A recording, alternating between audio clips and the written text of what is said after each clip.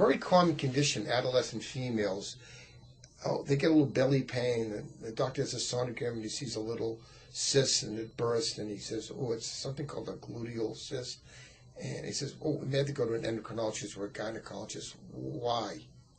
Oftentimes, a luteal cyst or a cyst that occurs in the ovary around the time that an egg is being released can cause a little bit of pain and discomfort when that uh, egg is actually released, or if the uh, ovary is producing more than one egg at a time, there's a cyst or sort of a bubble that forms around it. That bubble can cause some sense of discomfort as it stretches the ovarian tissue.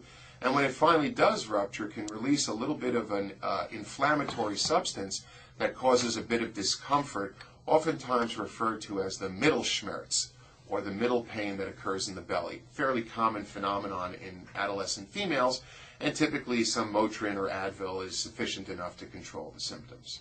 If it keeps happening and gets out of control, do they ever use birth control pills to control it?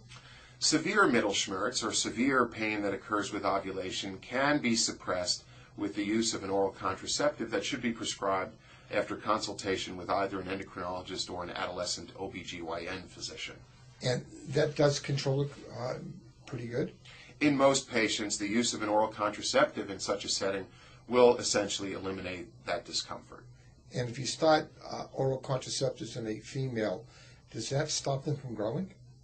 Oral contraceptives in a female who's experienced this kind of pain most likely is going to be someone who's essentially done with their growth. However, the use of an oral contraceptive in a child who's not yet done with their growth can result in premature termination of their growth. Therefore, it's very important for families to know that when they approach this issue with their physicians. So, in other words, it's not something you just do, just don't go to a pediatrician to write a prescription. It should be a consultation with either the gynecologist, the endocrinologist, the pediatrician, and the family. And the child should have a, some say in this matter, too, because she's probably thinks she's an adult, and we have to treat a little bit like that. Is that true? Absolutely. I'm all in favor of children taking an active role in their health care and interacting with their physicians and healthcare team to the best of their level of maturity and understanding. You also mentioned taking Advil or Motrin for middle Mittelschmerz type pain. You can't really work well if it's already there. You sort of like have to predict it beforehand because there's something that builds up called prostaglandins. Yeah, the, as I mentioned, there's an inflammatory substance called prostaglandin, which is released when that cyst ruptures. And so oftentimes the treatment coming after the rupture isn't as effective as sort of anticipating it.